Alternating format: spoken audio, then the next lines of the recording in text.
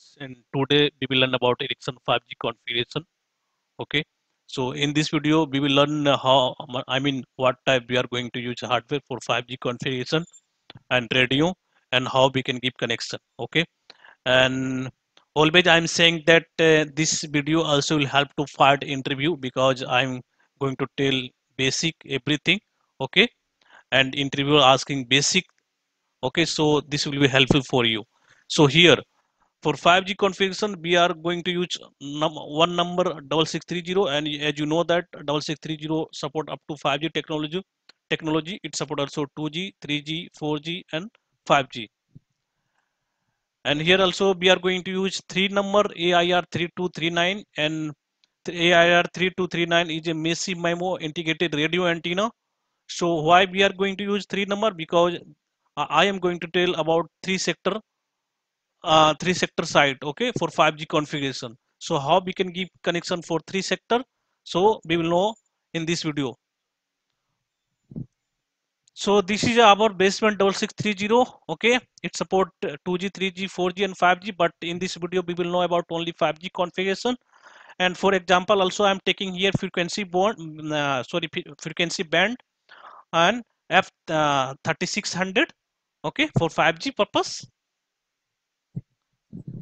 and now we have uh, you can see in this video this is AIR 3239 integrated radio antenna AIR 3239 we need to use three number because we have we have three sector site 3239 this is for sec uh, first sector this is for second sector and this is for third sector.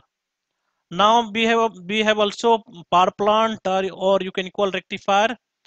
Why we are using power plant rectifier? Because we need to give power from rectifier to 66301 and AIR 3239 okay?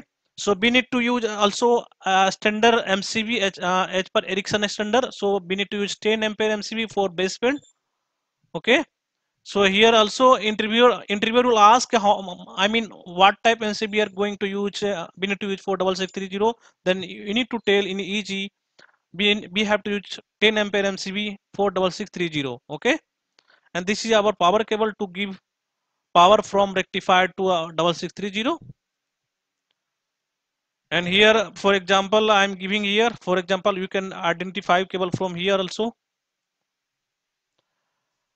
16 ampere we have to use for AIR 3239 if interviewer uh, interviewer will ask to you how what type MCB we, are, um, we have to use for 3239 then you have to tell 16 ampere we have to use for 3239 as per Ericsson standard always we have to use 16 ampere. Okay? So we have three radio so we need three 16 ampere MCB okay? And three number power cable. So how many we need power cable? We need one for double double six three zero and three number four three two three nine. Total we need four power cable. Okay? Now we have power. We need to sync uh, radio from baseband so we need to uh, we need to sync uh, radio from baseband. So we have to use fiber or you can call optical or CPRI cable. So we need to use fiber 2 in each sector because AIR 3239 has two port data 1 and data 2 so that is why we are going to use two fiber in each sector okay? So we have three sector then we have to use six number fiber okay and also uh, friends uh, i was telling about this one okay?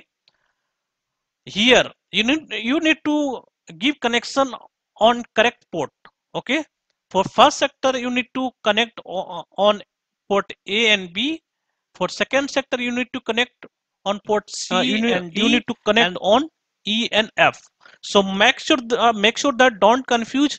You need to you need to choose correct port okay and otherwise your radio will not detect in your baseband. Okay? And friends also uh, i'm telling about air 3239 we are going to use only air 3239 because this is a radio integrated antenna. We are not going to use any other antenna like comba and andrew any other antenna. So here also we are not going to connect any rf jumper and any ret cable okay so we need to give connection only fiber and power cable okay uh, I'm given notes here also. You can read the notes also. No need to use GSM antenna and RF jumper here. So we are not going to use any GSM antenna and RF jumper and RET cable also. Media also we need to give connection from transmission. You can see the port here. You here you have to give connection from transmission and if you want to log in uh, baseband from laptop then you can log in from LMT port LMT port uh, uh, sorry LMP port has uh, LMT port has two port LMT A and LMT B so LMT A and LMP B you can also uh, say that because LMP means local management uh, local management port LM, LMT means local management terminal so you can log in from LMT A. Here also you can see some sync port is given here. So if you want to connect gps then you can connect from this port. And also you need if you need external alarm for this side if you want to give external alarm then you can connect RJ45 cable here and give connection to rectifier. Okay? So friends i was telling about ericsson 5g configuration. Okay? So basically for ericsson 5g configuration we need to use three number 3239 and one number double six three zero and six number fiber and four number uh, power cable and also we need SFP okay? So total we need SFP six number here and six number here. Total how many we need? Total we need 12 SFP four SFP in each sector. Okay?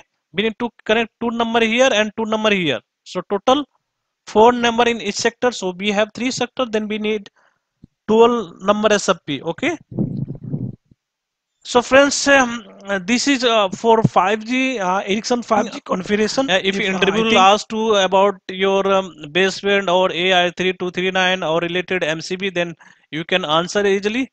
Okay, there is no problem. So guys, always I'm saying that if you like my video, then you can subscribe my channel. If you want to ask anything, then you can ask in my comment box. So thank you guys. Bye bye.